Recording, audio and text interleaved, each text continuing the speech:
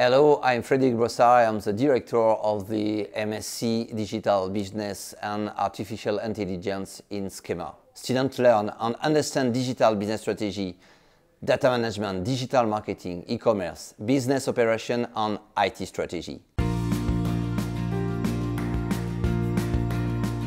The MSc is a proper and professional preparation for the real world of work. Students do a project with a real company, a business. This is an authentical professional experience where students have to take part in meetings, coordinate with each other and the company, and come up with the deliverable in time. Students can do Microsoft certification and the Agile certification, which is the main one in the domain of project management. Also, of course, there is the internship of six months maximum, which gives students and apply on practical experience.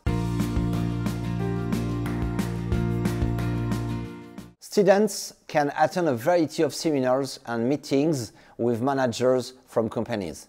They can build a real professional network like this. The location in Sophia Antipolis is the perfect place to start a career in this area of work.